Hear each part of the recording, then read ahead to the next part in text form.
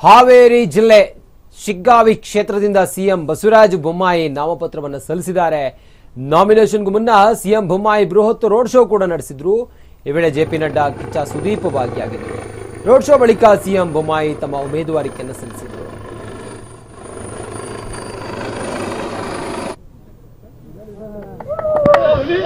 ಹುಲಿ ಹುಲಿ ಸರ್ ಆ ಕಡೆ ಸರ್ ऐसे बना के रखो हो अल्लाह का वो बोले बोले बोले।